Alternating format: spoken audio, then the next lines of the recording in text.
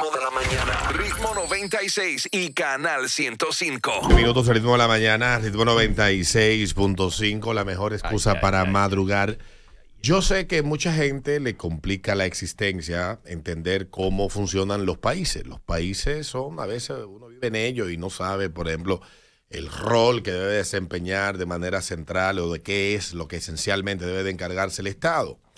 En los últimos 120, 150 años, el Estado pasó de ser una cosa que se encargaba de algunas pendejadas en la vida de la gente a ser básicamente un ser obicuo que está en todos los aspectos de la vida de las personas, incluyendo eh, en la habitación suya, si usted se masturba, cuántas veces lo hace. Por ejemplo, en España hablábamos la semana pasada del pasaporte. Y muchas personas creen que es correcto porque el ser humano tiene ese vicio personal que es el entender que sí, que usted tiene que interferir en, en las decisiones y acciones individuales de las otras personas.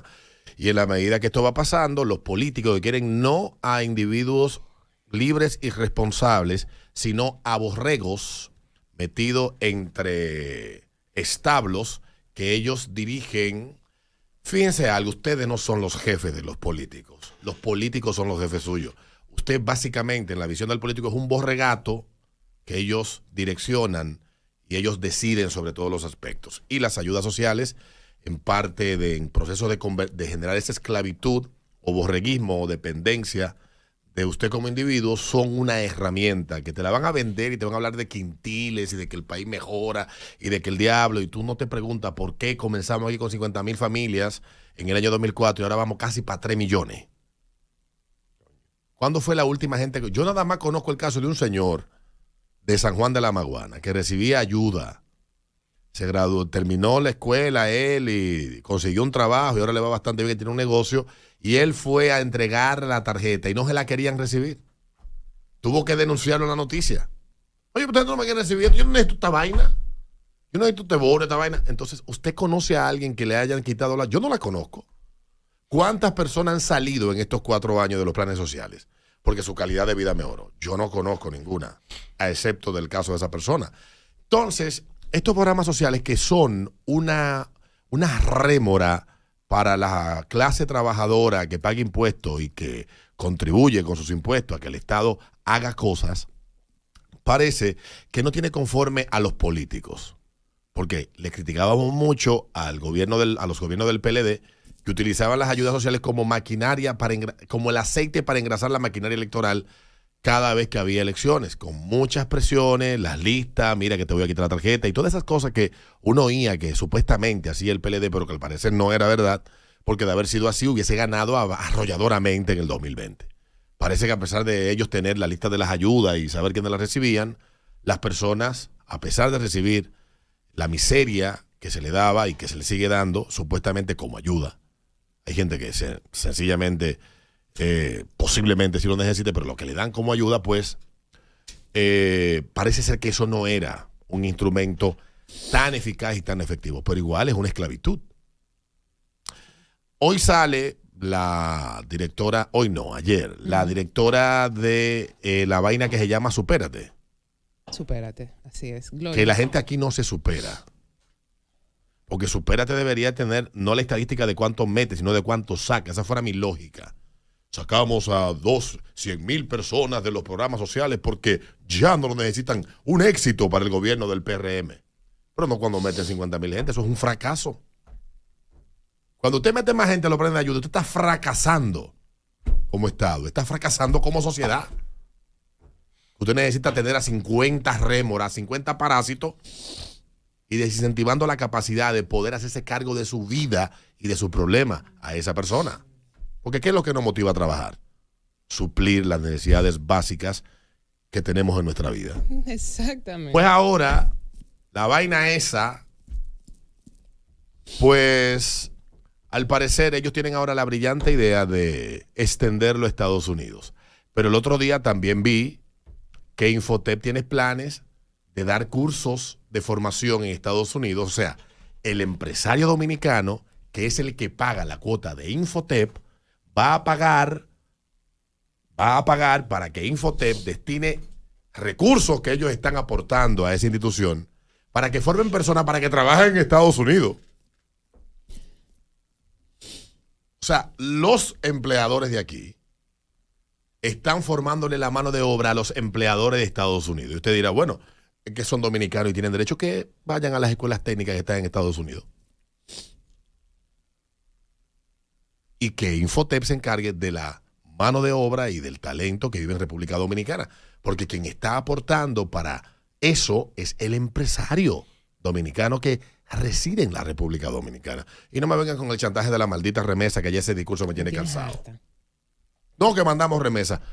Qué bueno que mandan remesa. Entonces, al parecer, eh, al parecer, el plan ahora es también darle Superate. Se creado, según dice Diario Libre, la ventanilla de servicio de Superate en el Consulado General de República Dominicana en Nueva York ha asistido a más de 224 dominicanos para llenar la plantilla que sirve para requisito para aplicar a los programas en el periodo eh, comprendido entre abril y junio, cuando la entidad respondió una solicitud de información de Diario Libre. La información suministrada no aclara si los dominicanos beneficiados y a la espera de la tarjeta se encuentran en Estados Unidos o si se trata de familiares en República Dominicana. Tampoco la razón por la cual un dominicano en el exterior deba solicitar una tarjeta para su familia. Si el beneficiario puede dirigirse a un punto de estas oficinas en el país y solicitar por sí mismo el servicio. De acuerdo con la respuesta de Supérate a los más de 200 dominicanos que han acudido a la ventanilla, 184 ciudadanos fueron procesados en su sistema, dando como resultado que 24 nacionales ya están beneficiados del programa, pues se encuentran activos en la nómina del subsidio. Esto publica Diario Libre. Yo lo leí. Entonces, yo me pregunto, ¿para qué coño necesita un dominicano que vive en Estados Unidos 27 dólares, que es lo que esto? Eh, totaliza. ¿Y por qué yo tengo desde aquí que, que me cobren impuestos para una gente que decidió migrar libremente a buscar oportunidades, a que le vaya mejor? Me alegra, manda remesa, todo eso. Pero ese no debe ser el maldito fin de ese maldito y canceroso programa de asistencia y parasitismo social. Y esos son de pueblos funcionarios que se ponen en la red de hablar como que ellos son redentores. No lo son. Son parte del problema cuando definitivamente no pueda uno llegar a la conclusión de que son el problema. Una cosa absurda. Pero, pero. yo leí eso y yo no lo podía. Yo no lo creo. yo, yo, yo dije, esto tiene que ser mentira. Tiene que ser un embute. De, eso es un fake news. dije yo. Esto hoy es el Día de los Inocentes, 28 de diciembre. Yo, yo, yo, yo, yo, dije eso. Es que no puede ser, Alberto. Es que me resisto a creerlo. Y usted póngase a buscar qué maldito país del mundo tienen programas sociales que se lo, que se lo den al que se fue del maldito país. Ninguno. Este maldito pedazo de solar lleno de burro y de mate plátano. Y después salen estos canallas a decir, no, porque nosotros estamos ayudando a los pobres, a que sean más pobres. Burro y mate plátano. Muy bien. Ahí está. Mientras usted paga impuestos, mientras ellos quieren que usted pague más impuestos, se van inventando vainas para seguir cargando el lomo de la gente con más carga y esclavizando a una masa e inutilizando a esa masa de la capacidad de poder hacerse cargo de sí misma. Y, repito, tengo un amigo economista que me dio una charla un día. Me habló de quintiles y que el quintil tal y que no sé qué vaina y que el Estado y que nosotros y que no sé qué mierda. Le dije yo, parasitismo. Resumen. Yo me quedo con lo que dijo Otto von Bismarck cuando estaba discutiendo el primer programa de asistencia social en 1889 en Alemania. Cuando le dijeron, usted sabe que con estas vainas nosotros lo que va a esclavizar al ciudadano, esa es mi intención. Palabras más, palabras menos, por ahí andaba. Así que cojan ahí. Ahora, sí, no, hay que ser rastrero. no, yo me resisto a creer, de verdad. Es que no.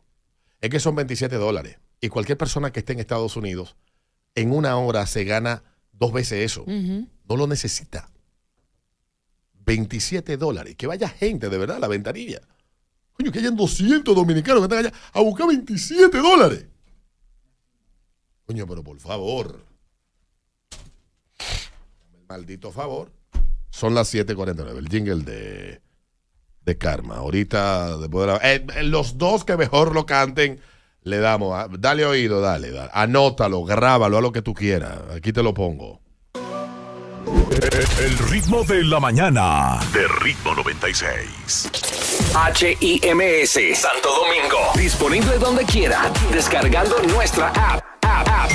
Ritmo 96. Una estación del Grupo Medrano.